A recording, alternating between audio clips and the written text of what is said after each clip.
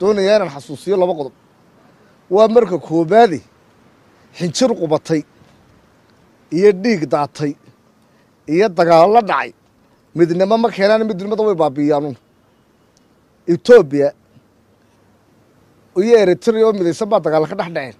Soddon sannadood markay isdilayeen aakhirka way kala tageenuun.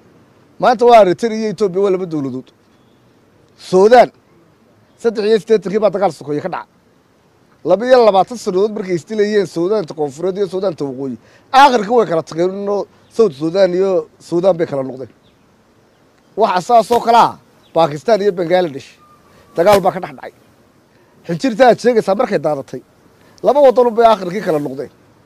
Waxay kala noqdeen baakistaan iyo bangaladesh waxaan ku xasuusin lahaa midnimada sidii anagu markaanu midnimada doonaynay aan ugu keennay iyo walaalnimo ayaa keenta laakiin xijir daaratay.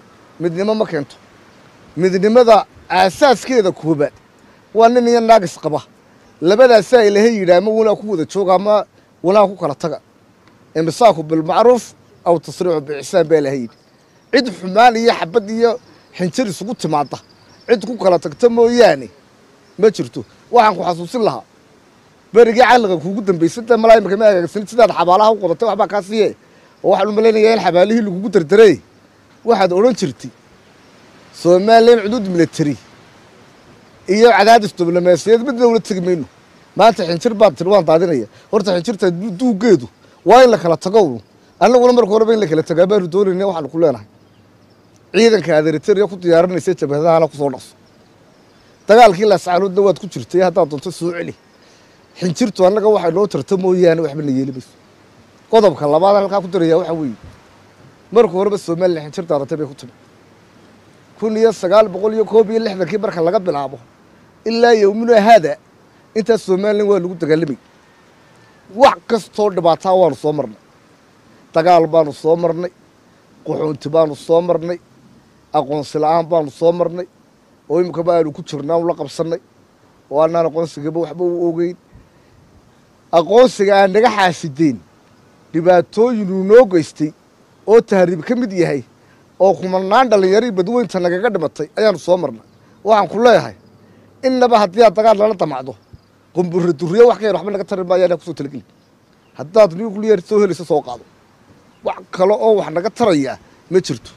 Hadalkaygaba waxaan ku gabageynayaa ee ninkaa xabaalaha xabar ka baayac mushtareeyey xasan sheekh maxamuud aan leeyahay heestii maxamed mooge liibaan ee markii dalkan loo halgamayey uu qaaday in kaga tegaya hadalkaagaasay ahayd soo jiidh wanaagga jeeniga ku soo qaad amba ooda soo jebi dhaaxaan balo u joogay. Haddii somalilan oday yaroo xamar jooga oo iska hadlaya wax ka qaadi karayo kumabaanaan dhawaaqnin manaanaan samaysanin. Haddaanu xinjir ka baqanayna maanaan samaysanin. Xinjir horena waanu ugu daadanay iminkana diyaar baanu nahay. Waxaanu ku leenahay yaan lagaa waayin waa mahadsantii xildhibaan se la wada socono madaxweynaha soomaaliya waxa uu ka hadlay m o u-ga ay somalilan la gelayso etoobiya arrintaasi markii hore si weyn bay dowladda soomaaliya u diidanay hadda laakiin sidii hore go'aankii hore way ka soo dabacday.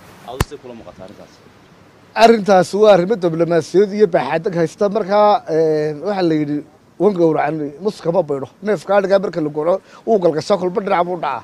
Waa galgalashadii u dambeysay